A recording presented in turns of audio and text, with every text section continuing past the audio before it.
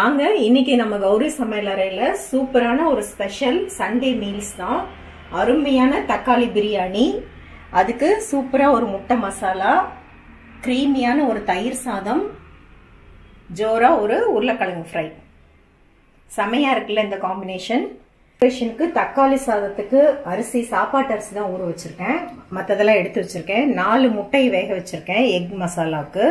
ஒரு நாலு உருளைக்கிழங்கு நல்லா வாஷ் பண்ணிட்டு அப்படியே தோலோடையே குட்டி குட்டி கியூப்ஸா கட் பண்ணி தண்ணியில போட்டு வச்சிருக்கேன். நேத்துக்கு வச்ச சாதம் ஃப்ரிட்ஜ்ல இருந்து எடுத்து வச்சிருக்கேன். ஒரு கப் அளவுக்கு இருக்கு. இதில் தான் நம்ம தயிர் சாதம் பண்ண போறோம்.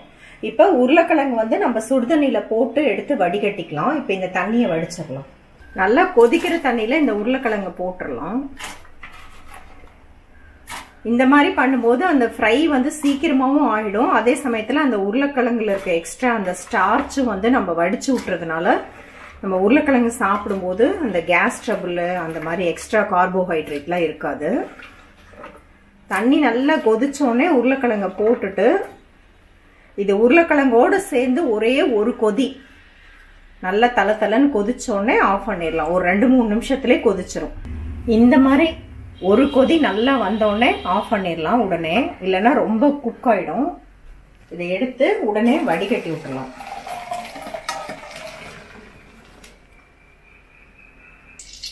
ஒரு கடாயில் எண்ணெய் வச்சுருக்கேன். இப்போ இந்த வேக வச்சு வடித்த உருளைக்கிழங்கு இதில் சேர்த்துக்கலாம். இந்த உருளைக்கிழங்கு தேவையான அளவு உப்பு போட்டுக்கலாம். அரை ஸ்பூன் மஞ்சள் பொடி ஒரு ஸ்பூன் மிளகாத்தூள். இது வந்து நம்ம கௌரி ஷாப்போட கொளத்தூர் மிளகாத்தூள் நல்ல காரமாக இருக்கும். கலர் பாருங்கள் எவ்வளோ சூப்பராக இருக்குது ஆன்லைன் ஷாப்பிங் லிங்க் வந்து இந்த வீடியோவோட டிஸ்கிரிப்ஷன் பாக்ஸில் கொடுத்துருக்கேன்.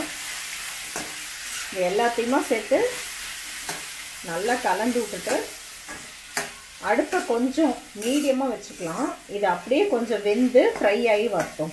அதுக்குள்ளே நம்ம தயிர் சாதம் ரெடி பண்ணலாம். இந்த ஃப்ரிட்ஜில் வச்சு எடுத்த முதல் நாள் சாதம். இதை வந்து நான் அவனில் ரெண்டு நிமிஷம் சூடு பண்ணி எடுத்திருக்கேன். சாதம் மீதியானா ஃப்ரிட்ஜில் வச்சுட்டு அடுத்த நாள் வந்து லேசாக தண்ணி தெளிச்சு விட்டு ஒரு கப்பில் வச்சு அவனில் ரெண்டு நிமிஷம் சூடு பண்ணி எடுத்தீங்கன்னா அப்போ வச்சு சாதம் மாதிரி ஆகிடும் நம்ம குழம்பு ரசம் அது மாதிரி கூட நம்ம யூஸ் பண்ணிக்கலாம். இதை நல்லா மசிச்சு விட்டுக்கலாம் இதில் கொஞ்சம் சூடான பால் சேர்த்துக்கலாம். தயிர் சாதம் எப்பயுமே பால் கொஞ்சம் தயிர் கொஞ்சம் சேர்த்து பண்ணால் அது கரெக்டாக இருக்கும். நீங்கள் சாப்பிட்ற டைமிங்கை பொறுத்து. இப்போ நீங்கள் செஞ்சுட்டு ஒரு நாலு மணி நேரம் கழித்து சாப்பிட்றீங்கன்னா நிறைய பால் சேர்த்துட்டு கொஞ்சமாக தயிர் சேர்த்துக்கலாம். இல்லை நான் ஒரு மணி நேரத்தில் சாப்பிடுவேன்னா கொஞ்சமாக பால் சேர்த்துட்டு நிறைய தயிர் சேர்த்துக்கலாம். அந்த ரேஷியோ வந்து நம்ம அந்த டைமிங்கை பொறுத்து கிளைமேட்டை பொறுத்து நம்ம மாற்றிக்கலாம் இப்போ இதில் தயிர் சேர்த்துக்கலாம். தேவையான அளவு உப்பு போட்டுக்கலாம். எல்லாத்தையும் நல்லா கலந்துட்டு நம்ம தாளிச்சு எடுத்தோம்னா தயிர் சாதம் சூப்பராக ரெடி ஆகும் கொஞ்சமாக எண்ணெயில் கடுகு உளுத்தம்பருப்பு கடலப்பருப்பு சீரகம் பெருங்காயம் தாளிச்சிருக்கேன். கருவேப்பிலை சேர்த்துக்கலாம். இதை இந்த தயிர் சாதத்தில் ஆட் பண்ணிக்கலாம். கொஞ்சம் கொத்தமல்லி சேர்த்துக்கலாம். தயிர் சாதம் சூப்பராக ரெடி ஆகிடுச்சு இப்போ உருளைக்கிழங்கு செக் பண்ணலாம்.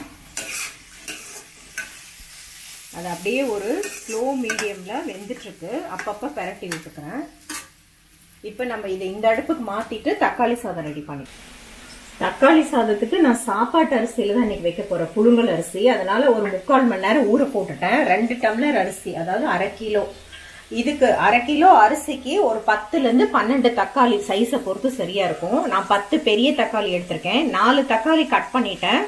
ஆறு தக்காளியை மிக்சியில் தண்ணி சேர்த்தாம அரைச்சி வச்சுருக்கேன். ஒரு பெரிய வெங்காயம் ஒரு பதினஞ்சு சின்ன வெங்காயம். சின்ன வெங்காயம் போடும்போது அந்த டேஸ்ட் ரொம்ப நல்லா இருக்கு. மூணு பச்சை மிளகா ஸ்பிளிட் பண்ணி வச்சிருக்கேன். தாளிக்கிறதுக்கு கொஞ்சம் புதினா கொஞ்சம் கொத்தமல்லி. ஹோல் கரம் மசாலா ரெண்டு பிரியாணி இலை ஒரு ஸ்பூன் சோம்பு ரெண்டு ஏலக்காய் நாலு கிராம்பு ரெண்டு பட்டை ஒரு மராட்டி முக்கு ஒரு அன்னாசி பூ இதனோட அளவெல்லாம் நான் டிஸ்கிரிப்ஷன் பாக்ஸில் கொடுத்துருக்கேன். உங்களுக்கு வேணால் செக் பண்ணிக்கலாம். பொடி வந்து அரை ஸ்பூன் மஞ்சள் பொடி ஒரு ஸ்பூன் மிளகாத்தூள் ஒரு ஸ்பூன் கொத்தமல்லி தூள் அரை ஸ்பூன் கரம் மசாலா தூள். இந்த நாட்டு கொத்தமல்லி தூளும் இந்த கொளத்தூர் வரமிளகாய் தூளும் நம்ம கௌரி ஷாப்ல அவைலபிளா இருக்கு. லிங்க் வந்து டிஸ்கிரிப்ஷன் பாக்ஸ்ல இருக்கு. உங்களுக்கு வேணா நீங்க வாங்கிக்கலாம். நம்ம குக்கர்ல பண்ண போறோம். குக்கர்ல ஒரு எட்டுல இருந்து பத்து ஸ்பூன் எண்ணெய் ஊற்றிக்கலாம் இதுல இந்த ஹோல் கரம் மசாலா போட்டுக்கலாம். அதெல்லாம் நல்லா எண்ணெயில பொரிஞ்சு வரும்போது வெங்காயத்தை போட்டுக்கலாம். நான் இஞ்சி பூண்டு பேஸ்ட் காமிக்க மறந்துட்டேன். அது ஒரு ரெண்டு ஸ்பூன் நம்ம போட போகிறோம்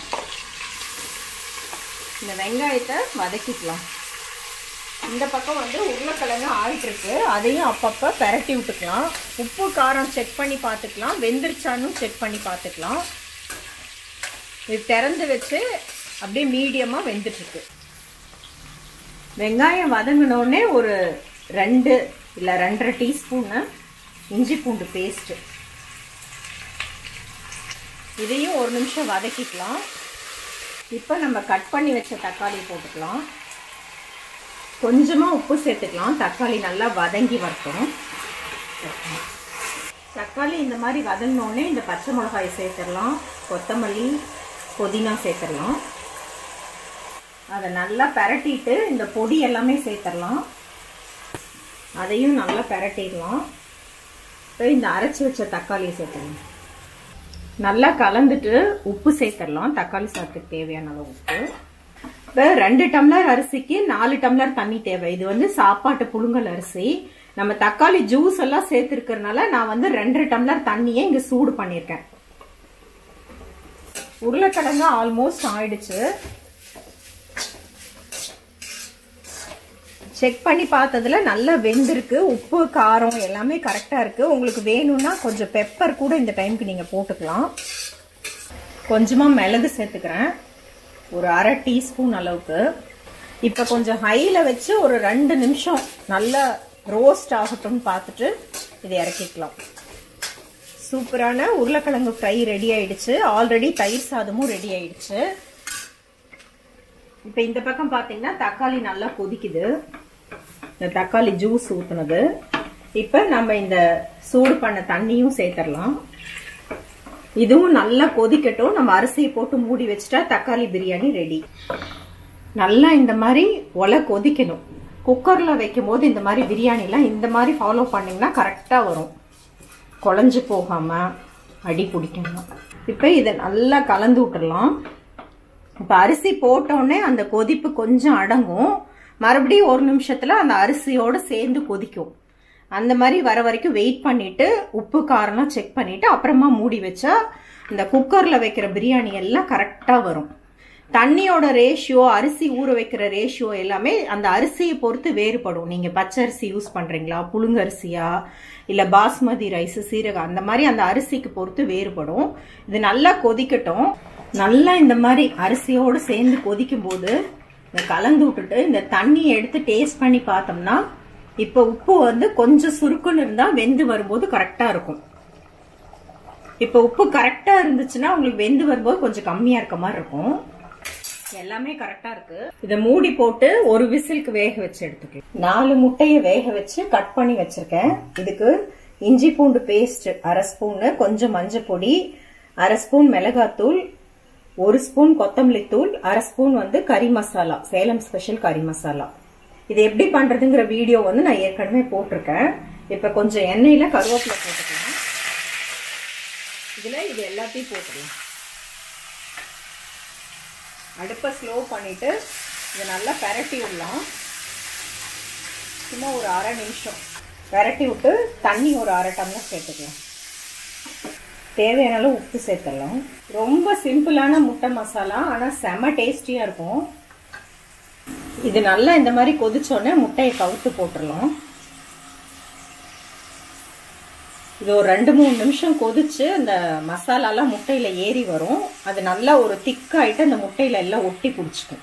ஒரு மூணு நாலு நிமிஷம் கழிச்சு இந்த மாதிரி சுண்டி வந்தோடனே முட்டையெல்லாம் அப்படியே திருப்பி விட்டுக்கலாம். எவ்வளோ ஜோராக இருக்கு பாருங்கள் நீங்கள் வேணால் பெப்பர் கூட அடிஷ்னலாக போட்டுக்கலாம்.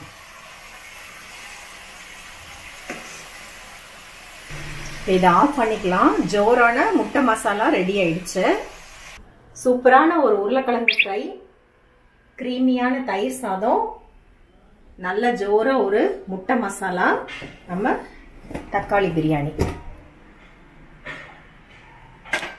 வாசம் சூப்பராக இருக்குது நல்லா ஒரு மிக்ஸ் கொடுத்துக்கலாம். அருமையான தக்காளி பிரியாணி ரெடி செமையாக இருக்குல்ல இந்த காம்பினேஷன் கண்டிப்பாக இந்த காம்பினேஷனை நீங்களும் ட்ரை பண்ணி பாருங்கள் எப்படி இருக்குன்னு உங்கள் ஃபீட்பேக்ஸ் கமெண்ட் ஷேர் பண்ணிக்கோங்க.